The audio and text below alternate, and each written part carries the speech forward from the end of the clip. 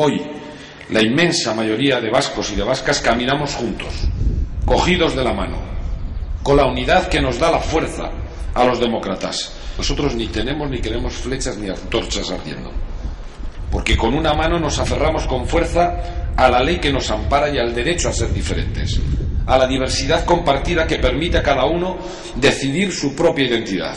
Y la otra mano la tenemos abierta, abierta para coger otras manos con las que caminar unidos hacia una sociedad de ciudadanos y ciudadanas libres.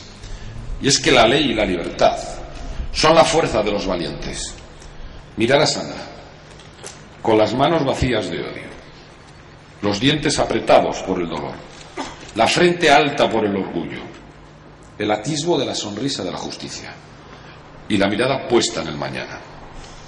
Ha perdido tanto que ya solo puede ganar.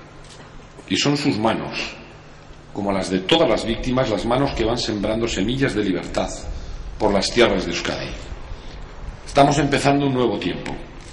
Queremos construir una sociedad distinta, una sociedad de ciudadanos y de ciudadanas libres y sin miedo, una sociedad que selle la alianza de los distintos, unida por la tolerancia a las ideas plurales y a las identidades diversas.